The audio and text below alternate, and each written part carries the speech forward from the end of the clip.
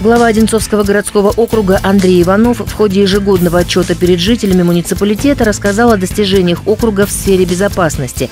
Как сообщил глава, по итогам 2019 года наш округ вновь признан лучшим в Московской области в сфере обеспечения безопасности людей. Наша единая дежурно-диспетчерская служба заняла второе место в регионе, а местная система оповещения признана лучшей в Подмосковье.